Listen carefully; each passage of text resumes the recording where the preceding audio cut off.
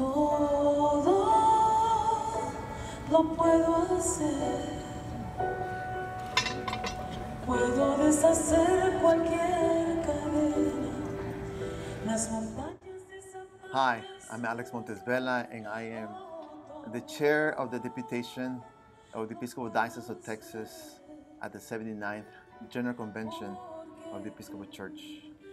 I'm also the priest at St. Mary Magdalene Episcopal Church in Manor, which is very near Austin. So I just wanted to give a shout out to my community.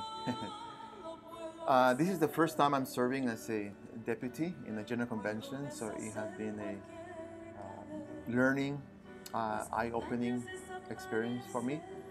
Um, I think I have a, a, a new appreciation uh, for the process that we use in our church uh, to give uh, opportunity for a, a diverse range of voices to, to be heard as decisions, decisions are made uh, about the direction and, and those things that hold us together as a diverse community of people of faith.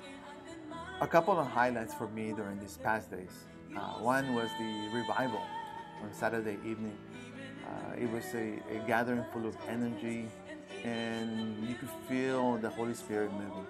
Uh, as a matter of fact, that's my sister on the back, you know, the background music. That's my sister singing at the uh, at this gathering, um, and being challenged by uh, our presiding bishop Michael Curry of walking in the way of Jesus, the way of love, uh, and taking this good news of this uh, loving, liberating, and life-giving God to different contexts, uh, to and, and different languages, translating this good news uh, to all.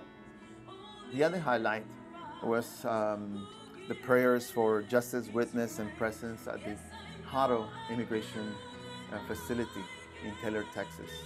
Uh, to be joined by, I don't know how many, maybe a thousand uh, Episcopalians, and being challenged again by our presiding bishop to walk in the way of love, showing solidarity uh, with these women that are uh, detained in, thi- in this place.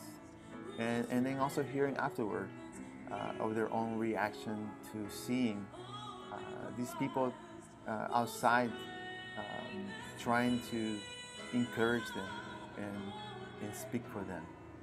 I'm looking forward to the, the final days of the General Convention. Um, I get to hang out with very fun people from our diocese. You know, your deputation uh, are very fun people to be around. and please keep us in your prayers um, as we vote, as we speak out, uh, that all that may be guided uh, by God's Holy Spirit. So God bless you and, and uh, have a great week.